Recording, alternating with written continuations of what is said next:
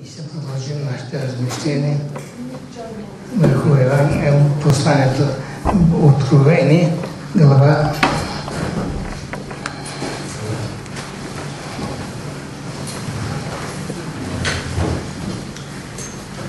седемнадесета, първите седем стиха.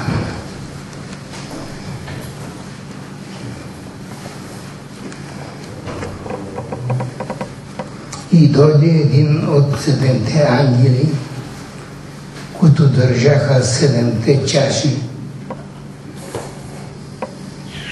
Та поговори с мен, казвайки, дойди, ще ти покаже съдбата на голямата блудница, която седи на много води, с която блудстваха земните царе и земните жители и се опиха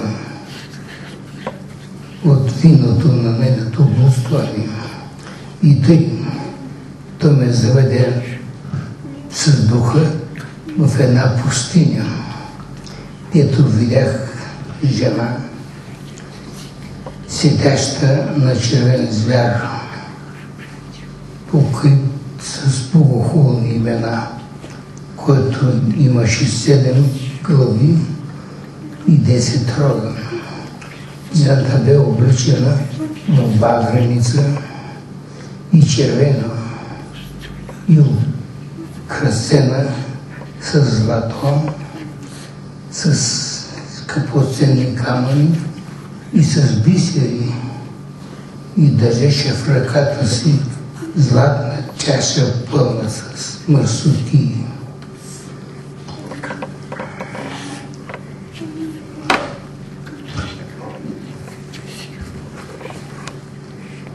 И с нечистотиите от нейното блудстване. И на челото й имаше написано тайна и тайна име, тайна Велики Вавилон, майка на блудите и на гносотиите на земята. И видях, че жената се беше опила от кръвта на светите, от кръвта на Исусовите мъченици и като я видях, зачудих се твърде много. Но ангелът ми рече, защо се зачуди? Аз ще ти кажа тайната на жената и на звяра, който я носи, който има седемте глави и десете рога. Амин. Баща наш небесен, Сърдечно сме ти благодарни за днешния ден, който преминава от благи. Благодарим ти, че ние в Твоя дом и сме дошли да отдадем хвала на Твоето име, да ти се поклоним с дух и сила и да те благодарим за всичката Твоя благост, милост, непрестанна грижа. Благодарим ти за Господ Исус Христос, Твой възлюбен син, който ти изпрати да страда и умре за греховете и престъплението, да умре заради нас на Голготския кръст. Проля кръвта си за нашите грехове и престъпления, а възкръсна за нашето оправдание, възнесе слава и царува до вечни векове. Благодарим ти за всичката твоя благост и с непрестанна грижа. Благодарим ти за всичко, което даваш в нашия живот. Но най-вече ти благодарим за това, че ние сме в Твоя дом, че си ни привлекал чрез силата на Святия Дух и си ни извлекал от тинята на греха и си ни поставил в Твоето царство на радост, на мир, на блаженство. И ти благодарим, Отче Благи, че всичко това ти си извърча чрез Твоят възлюбен син и ни съхраняваш и ни водиш в пътя на правата и истината. И ти се молим да благословиш всеки един от нас по-отделно. Ти си ни оставил в този свят, в тази долина на смъртната сянка, да бъдем светлина и сол, да изявяваме Твоята правда, Твоята милост, Твоята любов, Твоето велико спасение чрез Господ Исус Христос. И сме в този свят, съобразени с този, тези неща, които са противни на Твоята воля. Люди, ние сме израснали в този свят, в нашата страна, между народа, който е винаги противник на Твоята воля. Люди, които се съпротивляват на Твоята истина. Люди, които сме разрушавали Твоите домове. Люди, които сме преследвали Твоите свити. Люди, които сме произвеждали и продължаваме да произвеждаме оръжие, с което се убиват, пролива кръвта, благи. Това е грехът на нашия народ. Това е нашият грях. Господи Исусе, ние сме част от Твоята църква, но ние сме част от този народ. И Ти си ни оставил да живеем между него. Ние си застъпваме за него и желаем Неговото спасение. Но за да стане всичко това, Ти трябва да действаш с Твоя свят дух, да забличиш човекът, грешникът, който е извършил престъпление, а ти си готов да приеме всеки един чрез Твоята благост, чрез Твоята милост, чрез Твоята благодат, като любивен баща, който не ще смъртта на своите чеда. И ти преапелираш към чрез пророката, върнете се, елате, защото умрете и ни желаем спасението на нашия народ от благи и се застъпваме за него. Това е Твоята воля. И ти се молим да излезеш, да излезеш този дух на покаяние. Амин. Да осъзнаем състоянието, да се обърнем към Теб и наистина да настъпват освежителни времена от Господа за нашия народ. И ти благодарим, Отче Блаки, че ти действаш чрез силата на Духа си, съдейства за да се разпространява Твоето Слово, молим да го придружаваш с силата на Духа си, за да извършва работата, да се спасява душите. И ти се молим, Отче Благи, чрез силата на Свети Дух, да действаш между всичките нас. Ни желаем да възвеличим името на Господ Исус Христос, но ние се нуждаем от Твоята сила, от Твоята милост, от Твоята благост. И затова ти се молим, действа с Духът си, за да се прослави Господ Исус Христос. Ние ти се молим да благословиш всеки един от нас.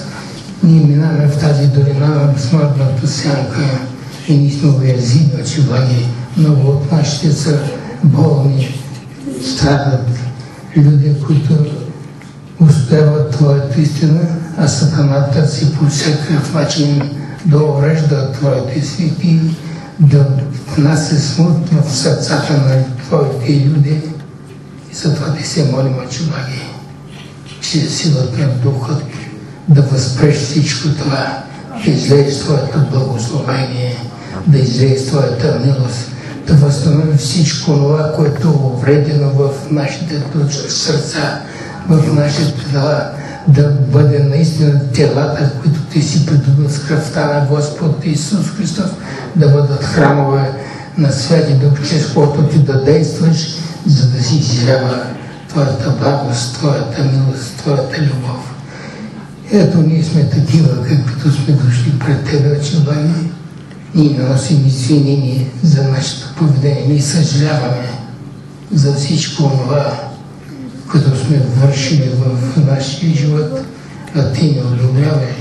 Моля Ти се, покри всичко с кръвта на Своят възлюбен Син, защото тя пролета на Голготския кръст за нашите грехове, за нашите престъпления. И вярваме, че Господ Исус Христос понесе греховете и понесе всичко това, което тежи в нашите сърца и души ти верен на твоите убеждания. Ти казваш чрез пророк, самопевецът, възложи на Господа тежки стовар и той ще те подпре. Ние предлагаме от себе си нашите болести, нашите немощи, нашите грехове, нашите църкви, нашите близки, наши роднини пред Твоя благодатен престол и Ти се моли, Дай с си, придобивай люди за себе си, да се радваме ние, заедно с Твоите святи ангели, че Ти придобиваш люди за царството си, че Ти действаш чрез силата на духът си и Твоето царство расте, работиш чрез църквата си за прослава на Твоето. Благодарим Ти за всичко, благослови според Твоята благост, според Твоята милост, според Твоята мъдрост, за прослава на Твоето име. Амин. Седете. Ние сме по календар в началото на Велики пости и затова гледам, че коментира тук как да постим. Един един пророк, Бог от Израилите. Казва, казва те, ние постихме, ти не, не внимаваш, не обръщаш внимание. И юните се оплакват, че казват, че постят, а пък Господ не му обръща внимание. Какво отговаря Бог? За кого постите? За себе си или за мене? И така, за какво постите? Какво искате от Бога? Защо постите?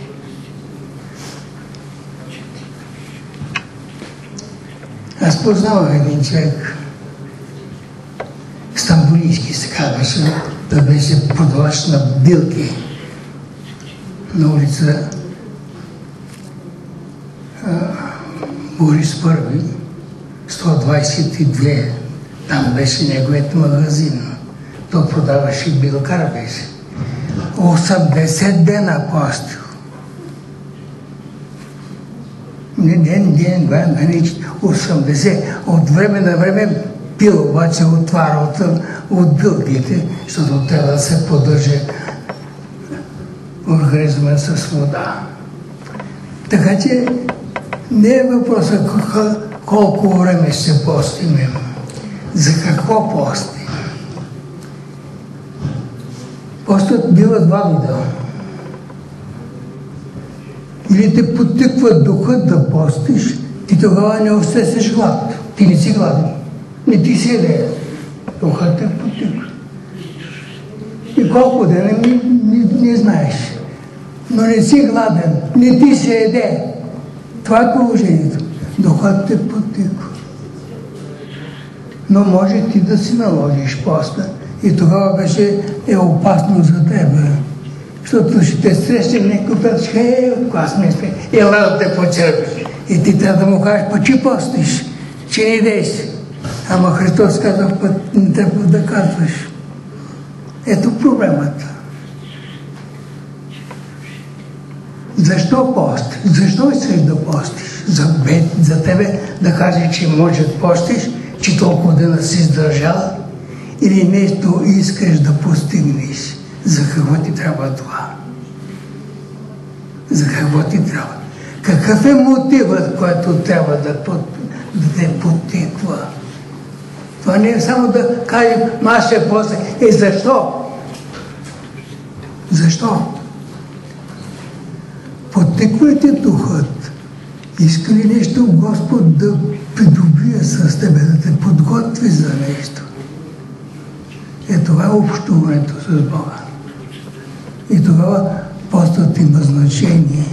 Защото Бог иска да постигне нещо с теб. Но Той го върши, не ти. Но ти трябва да общуваш с Него. Това е проблем, който е проблем на много вярващи. Ама аз вика ще пости. И какво, какво това като постиш? За какво ще постиш? Какъв мотив те потиква да вършиш тези неща? Това е което Бог цени и в човека. Какъв е мотивът? Какво те потиква да си християнин? Защо си християнин? Какво те потиква да да отиваш на църква и другите да ти се смеят, да кажат, о, то па отида там, ама ти не ми обръщаш внимание, тото мотивът те движи. Ама ти обичаш Бога, бе. Е, обичаш ли го? Еми, върши това, което той иска, повече нищо. И почне се се опакваш. Еми, ти си на страната на Бога. Той воюва в този свят. Той завладява светът за себе си, се завладен от грехът. А ние сме го продали този свят. Ти и аз сме дали властта на, на дявола. Това е наша. Е дадена от Бога на нас. Дава ни власт. Казва, владее този свят. Грижи за него, пази го. Това е поверено. И сега какво става? Христос воюва да си възвърне онова, което грехът е завладял чрез моята неверие и чрез твоето неверие. И те е призвал Бог и те включил в тази битка и участваш в битката. Не някога, сега. Това трябва да се научим две неща.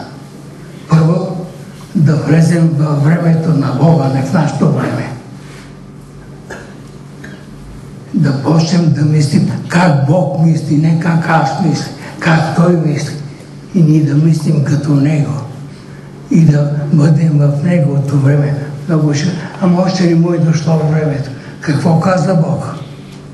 Сега е благоприятно време. Какво? Сега е спасителен ден. Какво го чакаш? То сега, не някога.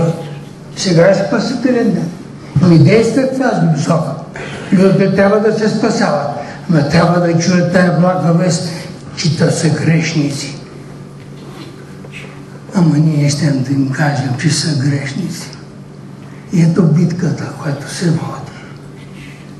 А за да можеш да водиш тази битка, трябва да си във връзка с Бога.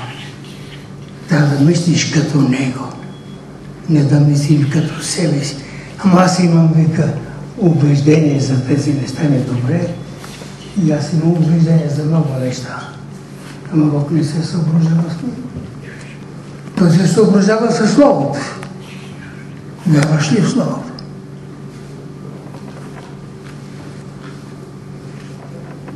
нито една болест, казва, която беше в Египет, няма да бъде на теб. Ако слушаш Словото, ако изпълняваш волята, ако вършиш това, което ти казва. Нито една. Ама вика, това е в Стара Завет. И ето времето. Ти си в, в своето време, не в Божието време. За Бога няма Стар Завет, няма Нов Завет. Има сега. Това е Божието време. Сега. Не някога. Сега. Сега е спасителен ден. Сега е благоприятно време. Трябва да се използва. Затова апостол каза, изкупвайте благовремето. Дните са лоши. Бог е много реалист в своето слово. Дните са лоши изкупвайте благовремето, внимавайте какво вършите в това време. За Бога няма минало, няма бъдеще, има сега. Така казва Словото. Въпросът е, вярваш ли в Словото? Това е проблемът. Вярваш ли в Словото? Какво каза Бог чрез пророката? понеже аз не се променям. Люди Израилеви, затова вие още съществувате. Не се променя. Нема Стар Завет, а Бог бил в Стария Завет. В Стария Завет, в Новия Завет Бог е един и същ. Прощава грехове без законе, не обезвинява виновните. Носи си грехът.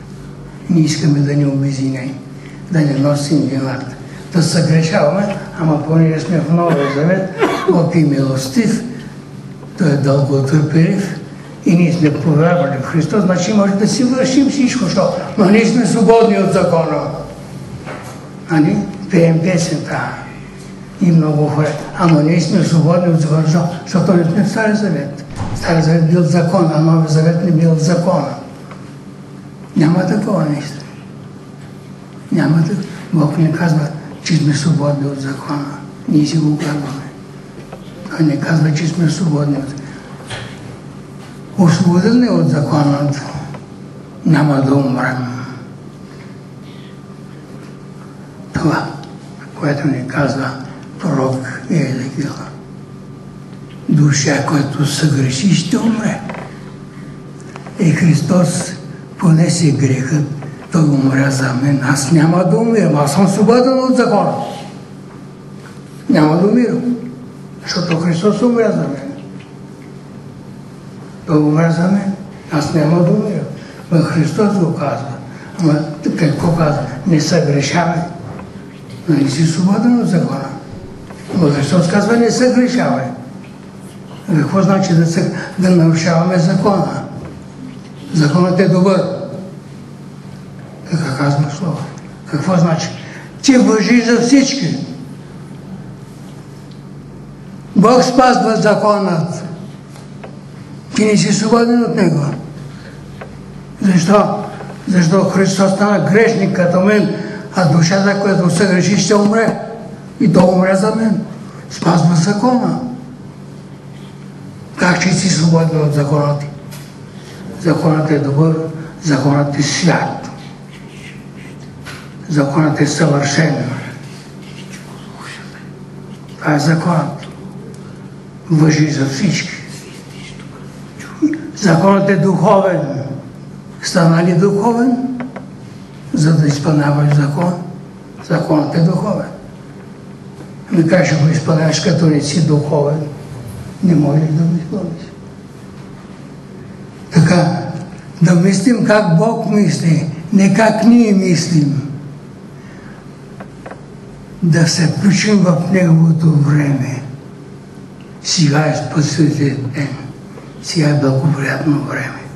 Не някога, сега. За Бога няма минало. Ако има минало, той ще, той ще се променил. Няма бъдеще. Защо? Ами ще се промени. Ама той казва, че не се променя. Значи той е извън времето. Извън времето. Ти си извън времето. Ти си във вечността, влязал си не някога. Ти си влязал чрез Христос. Какво казва апостол в посланието към ефесяните? И като ни спаси, какво? Тури ни, къде? Да седим, къде? В небесни места, седиш ли? Какво чакаш? Ще, като умрем, ще видим дали ще отидем на небето. Ами ти си дълго ти си стоял местото, ти си там. Оттам действаш, що си. Какво се оплакваш? Ти воюваш. Битката се води тук в този свят за спасяване на грешниците. И Христос се води. И Бог те е предвава чрез Христос да участваш в тази битка. И понеже се нуждаеш от сила, да казва и те потипа, трябва да постиш, не трябва да дадеш несни. И не, що Духът иска да те подготви за битката и участваш в тази битка. И така, това е, което върши Бог в този свят. И сега, понеже направи това отклонение, какво каза? Един от седемте ангела, като вижда в видението на апостол Иоанн, че там нещо става на небесата. Отвориха се небесата и вижда какво видение.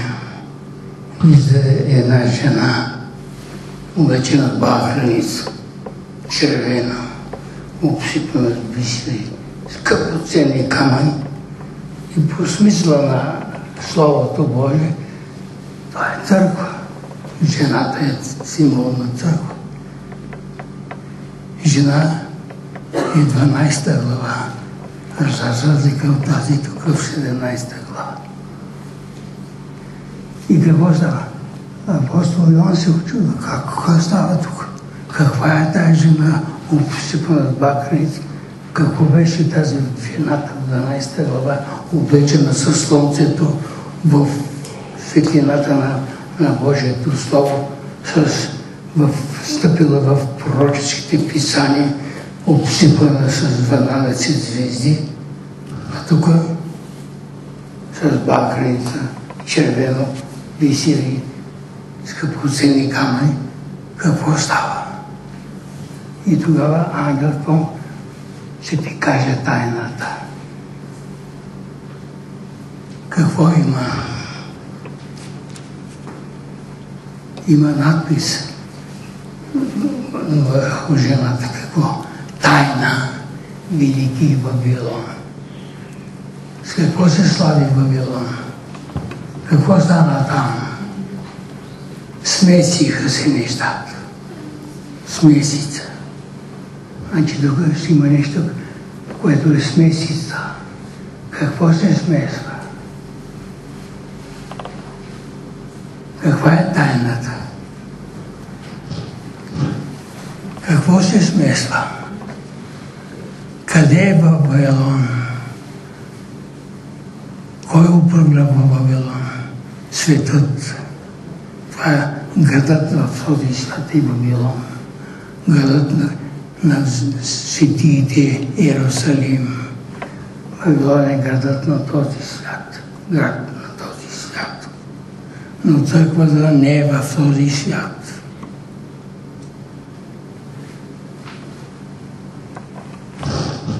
Какво прави Вавилон? Четири пъти се издава указ от императорите всички да почитат Богът на Израиля, да му се поклонят, да внимават в своите отношения. А след това направим един стокан. Всички да се поклонят на този. Всички да почитат Израиля Бог, всички да се поклонят на този стокан. Какво става? Смеси се. Именно когато една църква в този свят декларира, че подкрепя властта, тя дава грешна представа за църквата. Смесва светът. Ама сега такова времето. Ама да ни казваме, че за Бога няма време. Не може да си извиня. Ама сега е такова време. Аз съм го слушал много път.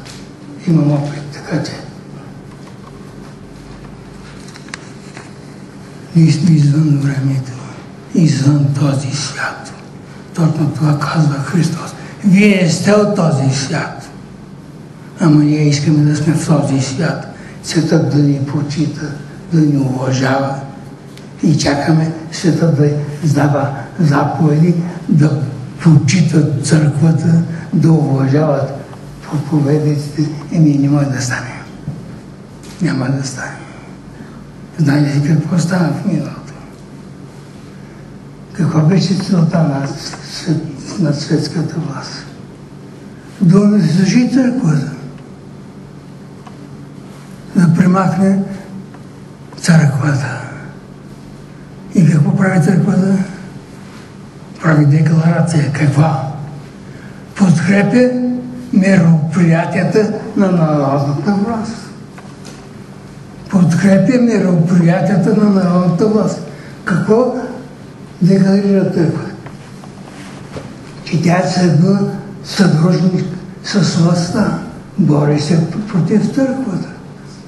Църквата подкрепя борбата против нея. Ето смесиста. Ето смесиста. Ето Вавилон. И какво каза? Книгата на пророк Иеремия, мисля, че беше 17 глава, какво казва? Вавилон беше златна чаша в ръката Господни, от която пиха народите и се опиха. Защо?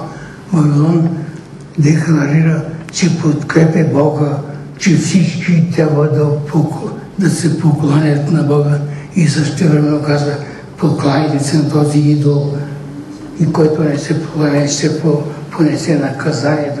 И от една страна зачитате Бога, от друга покланяйте се на идол. Какво става? Смесване.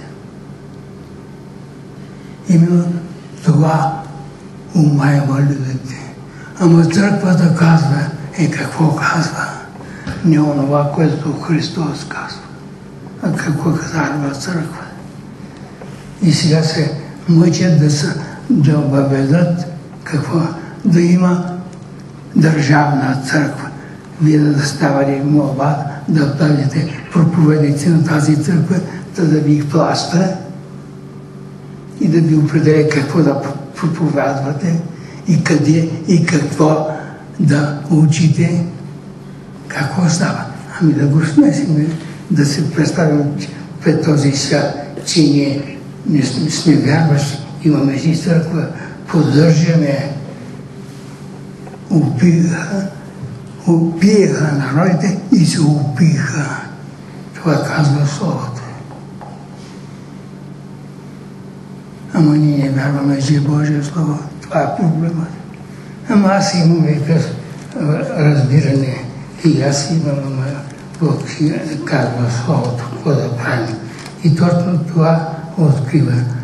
Жената е властна багреница, това е моров плат. Това е символ на власт. Всичките царе са се обличали в багреница, моров плат. И червено какво кръвта на проята на светиите. И всичко това се представя като вяра в Бога златна чаша. А вътре, вътре мърсоти, вътре гласоти, вътре сметица на вяра и безверие. Това е, което вижда апостол и това му открива ангелът. Защо става така? Защото Бог разкрива онова, което трябва да знаят неговите чеда. Има в момента не мога да си спомня един, един от пророците каза Бог няма да направи нещо без да открие това на своите чеда. Бог прави всичко това, което е необходимо, но Той визвестява истините на своите да знаят какво е. И затова ни е дал това слово. И затова искам малко да разсъждаваме за това слово. Как да разбираме Словото? Той не го дал това да ни наставлява. Как да разбираме Словото? Първо, Исус трябва да ни отвори умът да разбираме Словото. Не облягате на човеците. Преди години четох една книга, там се цитираше това, един от водачите на научния социализъм Енгелс се опитва да дава и тълкование на, на откровение. И той взема тия тук, което след това ще следващия път ще се справи с него. Царете, 10 царе, в момента, когато Йоан пише Словото, бил този император, а пет минали били тези пет минали тези императори и той се мъти, че да даде изявление същността на това, което Бог казва в Словото. Така че не сега, още много отдавна людите са мъчили да разбират това, което Бог казва в Словото. Ако Христос ни ти отвори умът да разбираш писателя, няма да стане. Нищо няма да разбереш. Това е второто нещо, какво Духът Святи трябва да ти открива Словото. Бог го казва. още в притчи четем първа глава, ще излея духът ти и ще ви направя да разбирате Словото. Що се оплаквате това, че не разбирате? Нали твърдите, че сте кръстени със Святия Дух? Ще излея от духа си и ще ви направя да разбирате Словото. И другото, трето нещо, Бог пояснява Словото си чрез Словото си. Ама Духът трябва да е в тебе. Затова не се опитва да слагаш своите мисли в Божия текст, в Словото и да казваш, че имаш разбиране за тази неща. И така, Бог ни открива, че в този свят в момента има смесица между църква и светът. И църквата не остава в истината. Затова внимавайте какво ви препоръчват, какво ви наставляват. Словото ни е мерилото. Господ иска да ни разкрива Словото си. Обаче трябва да го четем и да мислим върху него, да разсъждаваме. Бог не иска само да го четем. Бог иска да размишляваме върху него. Защо? Когато размишляваш, даваш възможност на Свети Дух да действа в твоят ум.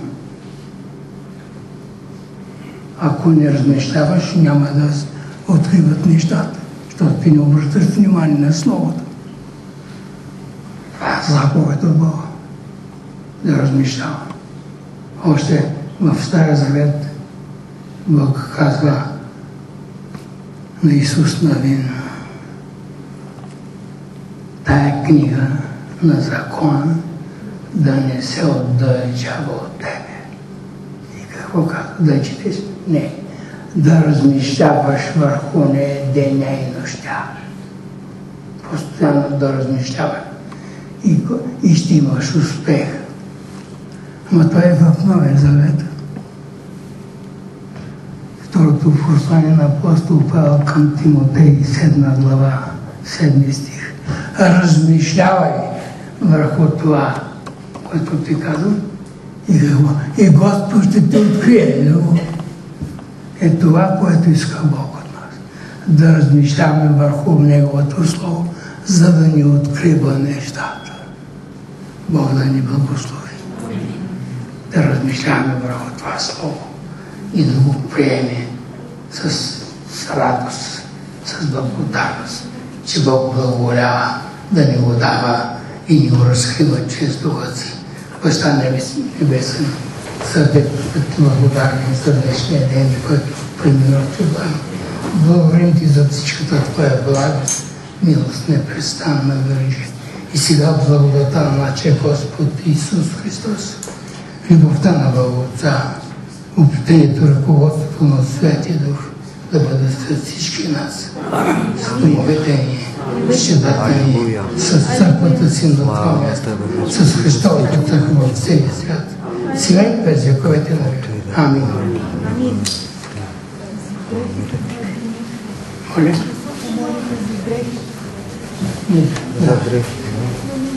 Очи свети Павел, и че можем за всяко нещо да се обръщаме към Теб, да те благодарим за всичката Твоя радост и да Ти се помолим. Тези дрехи представляват телата на тези люди. Те са уведени. Не знаем, че Ти си всемогъщен Бог и за Тебе няма нищо невъзможно. Но не знаем, че няма праведен човек на земята. Ти казваш, защо да не е съвършавал. Но ти му казваш Словото, че кръвта на Господ Исус Христос понесе грехът на всеки един човек и че в неговите рани ние сме изцелени.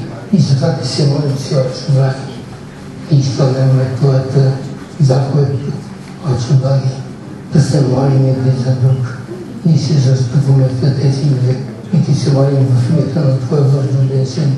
Ти се задейства със силата Духа си и изцелителна сила на Господ Исус Христос в Него трябва тези люди да бъдат съвършени и изцелени. Затова души руками заповядаме ти в името на Господ Исус Христос. Напускай телата им, напускай душите им, напускай духовете им, напускай умовете им, напускай техните домове и да станаме кръвта на Господ Исус Христос. И тие нямате дел, нито участ. Вън врагове. Отивате там, като Бог определил място за вас и не увреждайте ми вътре в душа. В името на Отца и Сина и Святия Дух, съвършено здраве за слава на Господа. Благодаря. Амин.